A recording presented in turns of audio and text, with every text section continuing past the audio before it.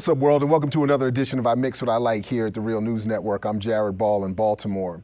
Today, we get to spend some time with one of my favorite people. She's a veteran activist, she's an author, she's an organizer, she's been a vice presidential nominee for the Green Party. When I say people, y'all say power. People, people.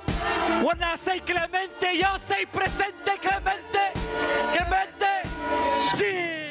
Rosa knows which side she on. We on her side.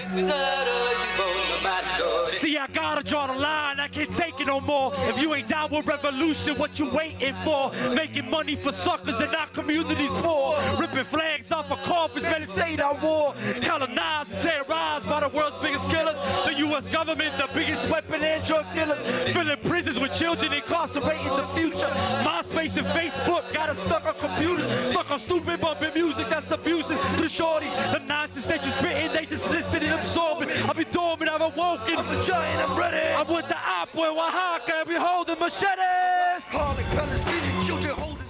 So, joining us for this edition of I Mix What I Like is Rosa Clemente. Rosa, welcome to the show. Thank you for having me. Rosa, if we could, a, a, number of people are in the world are familiar with you and familiar with your work, and we want to talk with you about uh, all of that, as much of that as we can. But uh, let's start with some that, something that I'm not sure that many people are aware of, and that is just your basic background and history. Give us a, who is Rosa Clemente? How did, how did, how did you get to where you are? Um, born and raised in the Bronx, um, 1972, you know, a couple years before the creation of hip hop culture. Um, when I was 10, my parents moved us about a half an hour away, Westchester County. So I grew up um, the first half of my life in the poorest congressional district in America, to this day still the Bronx, to the second richest suburb in America, Westchester County. So, um, and it's interesting because these places are only 17 miles apart and two completely different worlds. And when my parents moved us to Westchester, the type of public schools that I were in, that I was in, and the public school education that I got, I would say now would be considered a very private elite um, education. So I went through a, a, great school system, a very small town. Everybody knew each other, very multiracial. Um, every African American and every white person that I went to school with, I was the only Latino, Latina in the whole school at that time. The demographics weren't what they are now. I mean, everybody had a job, everybody had houses, you know, very suburban, utopic kind of life. I was a cheerleader, you know, like things that people like, you were a cheerleader. Yes, I was. Um, and then when I went to the State University of New York at Albany, uh, when I got into college, it really just opened my eyes to so many things that I did not know about myself as a Puerto Rican, historically or culturally. I always grew up Boricua. I didn't even speak English till I went to Westchester when I was nine and 10 and put into intensive immersion English only classes. Um, you know, and I was always proud and had great relationships with my family in Puerto Rico, but didn't really know a lot of the actual history of my people. Um, so for me, college was, for me, the point of departure from my previous life in terms of what I was learning, um, being in Black Studies, being mentored by Dr. Vivian Verdell Gordon, who then would introduce me to James Turner and Hakeem Adabudi and Steenie Perkins.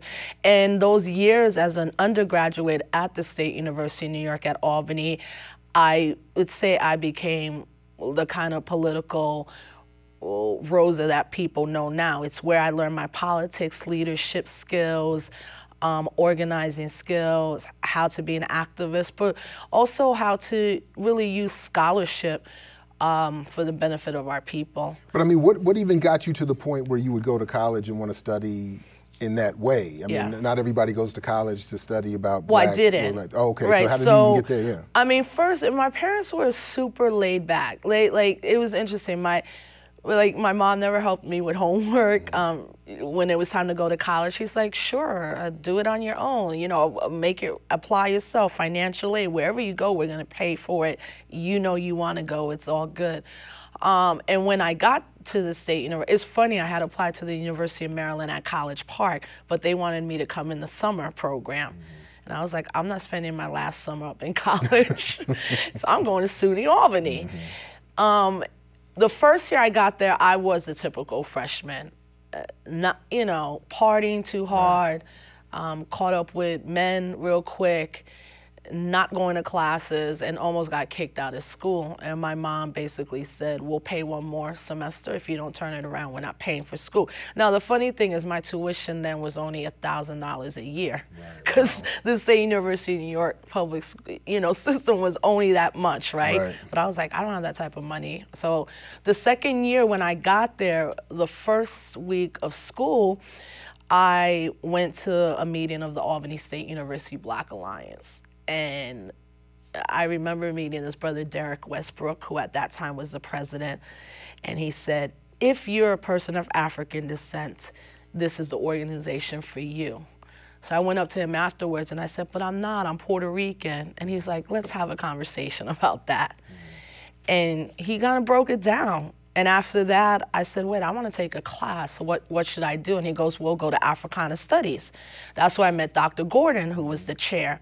And she said, just take an intro to Black history class and take an intro to Puerto Rican studies. And I said, I'm Puerto Rican. I don't need an intro to Puerto Rican studies. and she's like, you know nothing about who you are or your people, and it's not your fault. Take these classes as electives. I was a political science major. By the end of the semester, I was an Africana Studies major and a Latin American Studies minor. And once I spent that year really immersed in, in Black studies, in uh, beginning to be mentored by a lot of the Black and Latino professors on campus, as well as the administrators, who really were instrumental in making sure that we all had leadership skills. We even had to take a class. So if you were in Black Studies, you also had to take a leadership development class. And um, I had in high school always been involved in student government and key club and rotary i always ran for some type of office like that in, in high school so i was always about joining something um, and being part of something. And I became a hardcore member of ASUBA, the Albany State University Black Alliance. And that end of my sophomore year, a friend, a couple people said, you should run and be president. And I'm like, I'm not gonna be president of ASUBA. ASUBA for us was the golden organization. Nobody talked bad about it. Our meetings with three and 400 people a week came to these meetings, our events. It was that kind of organization that you're like, no, this is like ASUBA. I can't do this. Nobody's going to vote for me. And I ran and I won. And um, from there, in, in my subsequent three more years on the campus, it was all about uh, being part of an organized efforts, um, putting on events, uh, shutting down the administration, bringing people like Kwame Ture and Leonard Jeffries and Minister Farrakhan and that kind of 90s time of um, a lot of black intellectuals, uh, but also, you know, our old school kind of scholar activists being exposed to that. I met Richie Perez, and then I would meet Marta Moreno Vega. And when she came to speak and the speech she made, was the day I realized that I was an African descendant for real, but a black Puerto Rican and Afro Latina woman. And that was my, yeah, that was college for me, was all about that. Well, that's a perfect way to, to, to pause and take a quick break because I actually want to take a, a, a, a look in the next segment with you at this uh, career of yours as a hip hop activist and particularly around this, this, this, um, work you've you've been instrumental in leading around Afro Latinidad and yeah. and uh, uh, uh, Black Puerto Rican identity. So we're going to pause there in this edition of a Mix What I Like and come back with a part two with Rosa Clemente. So don't go anywhere. We'll be right back.